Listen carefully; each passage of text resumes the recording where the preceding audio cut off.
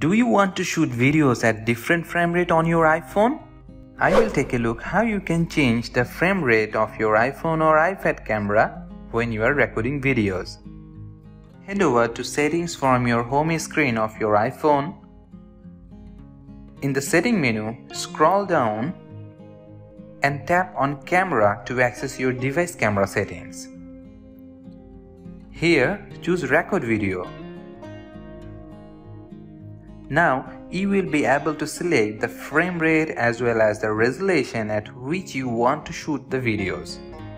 You may have noticed that high efficiency is specified in a bracket for certain higher resolution recording options. This basically just indicating that the video will be shot in highly efficiency video code to significantly reduce the file size. This file format offers better compression without any noticeable loss in visual quality. That's all for change video frame rate of your camera on your iPhone or iPad. Likewise, you can also change the frame rate for slow motion videos. Just go back one step and tap on slow mo recording and tap on slow mo to access these settings.